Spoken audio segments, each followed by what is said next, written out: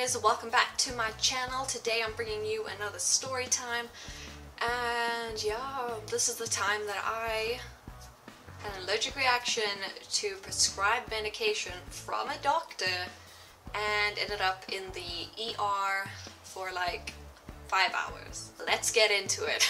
Okay, so I can tell you the exact date of this because they gave me a little take-home bag because this could happen again if somebody prescribes this to me. So yeah, this happened on the 3rd of the 4th, 2014. So it says here I was 17, I they gave me two, the dosage was one, but because mine was so bad in the hospital I had to have two. Anyway, let's get into it. Okay, so it starts off normal. I'll tell you what I had. I had gastroenteritis, but it was like the throwing up kind, so I couldn't keep anything down, not even water. And it was just like stomach acid and like acid reflux, and it was horrible. I couldn't eat anything. I didn't want to eat anything. Every time I drank anything, it just like came out. Just bleh. So uh, I get taken to the doctor. Uh, it was a new doctor. My other doctor was off for that week or something. So it was like my dad's doctor. I go to them and they prescribe me this wonderful thing that helps you keep your food down. So I take it, I take it at night, the, the night that I got home. Yeah, it was the night that I got home. I took it, fine, perfect. I could eat, everything was good. I had to take it the next morning, took it again, ate breakfast, everything was good. And then that whole day I felt so weird. Like I was I was so sick, okay, because like I couldn't keep anything down, my body was so tired. Anyway, all I wanted to do was sleep, but I couldn't lie down.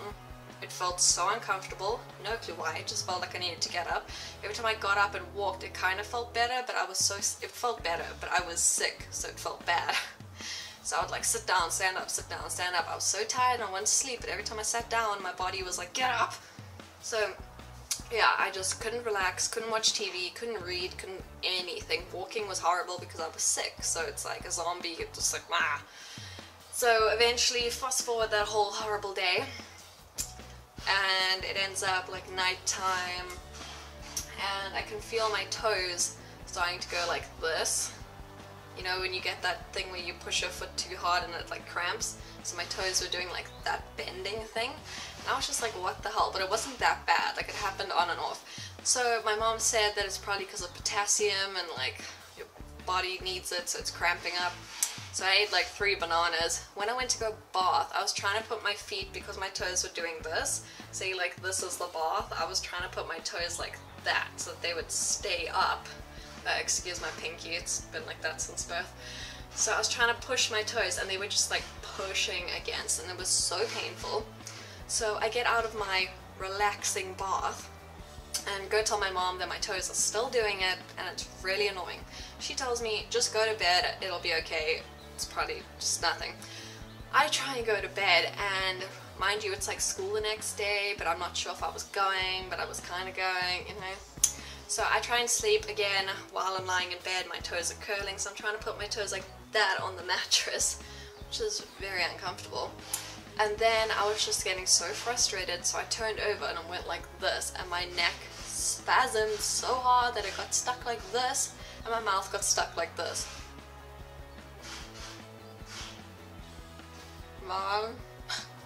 So me and my screwed up neck and face go to my mom who was on the telephone to my aunt and I remember she looked at me, I'm walking in like this, Mom, she looks, takes one look at me and goes, uh, I need to go. My child's having a stroke. it's just so dramatic.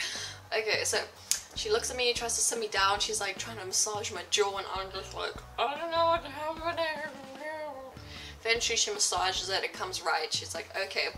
So she like takes me to the lounge and suddenly again. I don't know. I think yeah. And she's just like, oh my god. So she gives me water, because then we've, we've established that it's probably the medication that the doctor prescribed me. so yeah, so she's trying to give me water to flush the meds out of my system. I'm drinking it as best as I can, like this. How hard it is to drink like that? Very hard. It all just like, eh. But anyway, every time she massages my jaw, it like comes back to normal. So we're like, okay. But I was very uncomfortable. By this point, my hands were starting to like cramp up and like my toes were still going.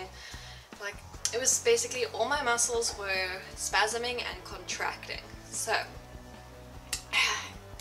eventually she's like, do you think we should go to the hospital? And me, I'm like, no, no, no, no, no, I'm not waiting in those long queues, I'm good. But like after another 10 minutes, when my neck completely went and I couldn't fix it on my mouth, my mouth was pulling so hard, like my jaw was pulling so hard this way, it felt like it was gonna snap. So I was eventually like, okay, yeah, no, we got, we have to go now, now, now, now, now, now. I quickly went and got dressed, put on like a tracksuit thing. In the car, and as soon as we get in the car, I kid you not, this is mortifying. But my mouth goes literally stuck like that. I'm not joking, stuck like that. Can't close it, can't do anything. My mouth is just, and I'm like, long, long, long, long. And she looks back and goes, oh my god, drive, drive, drive. Oh, Milo's barking, so he's with me now. Yeah, you naughty. So we get to the hospital. I have to now walk in to this ER like this. Literally, do you know how embarrassing that is? So I walk in like that because it's really embarrassing, okay? Like I would close my mouth if I could. So I walk in and the minute that I walk in the nurse looks at me and goes, okay, come into this room. So I'm like, oh, thank God. So I go into one room and I'm just like, my mom's trying to explain and she's like, you can't close your mouth? And I'm like, so she's like, oh my gosh, okay, this is hectic. My mom brought all my medication because I'm on the pill and anxiety stuff. So my mom brought all my medication to see if it reacted with that. So I go and sit in the ER thing. Sorry if this is a long video and people don't like this. I go and sit in the ER bed thing and now I am so like fed up by this point because it hurts. I'm just gonna give you the short version. So my jaw was doing ah and at the same time pulling to the side. So my mouth was open and my jaw was pulling. Felt like somebody was like felt like it was gonna snap out of its like socket or break. So it was really painful. My toes are still curling. My freaking hands are starting to curl. My dad takes one look at me, pale, I'm sweating, I'm going like this on the bed. My whole body's shaking. They put a blanket over me. My dad takes one look at me, starts crying, walks out of the room. he thought I was dying, shame.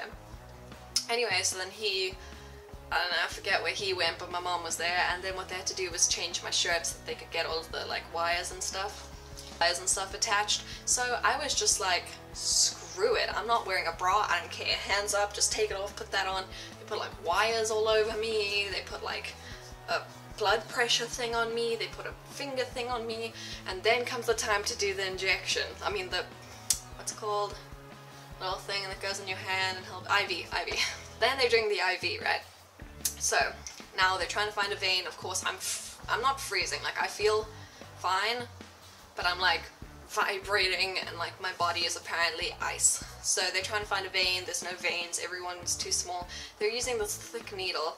They go in like there, they go in there, they go in there, they go in there, they go in there, they go in there. Literally got poked six times and then somebody changed the needle size like on the fourth one and then they found a vein like here. So they used that one. But yeah. So they were giving me fluids because I was apparently severely dehydrated. Not sure how since I downed that water. Anyway, so then eventually my neck starts going. Oh, my eyes are rolling back like this. My mouth is like uh, That is not an attractive look, okay? Not good. Now, can you imagine having an IV in your hand, okay, big fat needle, okay, big fat needle, and now your hand is going like this and pulling and your fingers are just like, Ugh. Anyway, after all of that, my mom was trying to distract me. Four hours later, they tell me that they don't have not have the actual medication that you would need to put in the IV bag, which is why they set it up, because, you know, you can't really swallow a pill like this. So, yeah, my eyes were rolling, couldn't close my eyeballs, my mom even tried, didn't work. So I have to take it orally. which is, yeah, okay. so, I'm trying to take this pull. I managed to get it down by some miracle. I get it down. I'm waiting. It's another hour. It's like kind of going, but I need another one because it was too strong. Like my reaction was so strong. Okay, so I need another one. Took, managed to take the other one, and then finally everything started to kind of relax. I could feel it my face. I could finally go and like look at the doctor, but every time he walked out, I was like, again, I don't know. Okay, so five hours in the ER, I eventually returned to somewhat normalcy. My neck is so sore, it feels like I've been in a car accident. My jaw feels like it's been broken, and my body is so tired. My eyes couldn't focus, couldn't look at a screen, nothing, because they had been like this the whole time. Like that.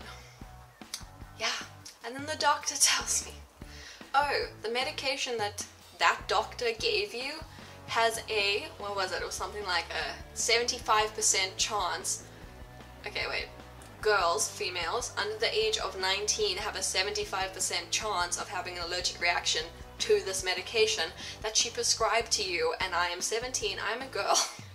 Why are they still selling it? Ah.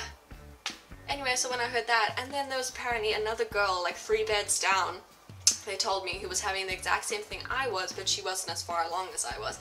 And they said that it could have killed me because my muscles were contracting and it was blocking my heart or something. So yeah, I almost died thanks to that doctor's prescription thing. yeah, so that's the story of the time that I almost died in the ER from an allergic reaction to prescribed medication. Hope you guys enjoyed this really long story. Um, I'll see you next week Wednesday. Bye guys!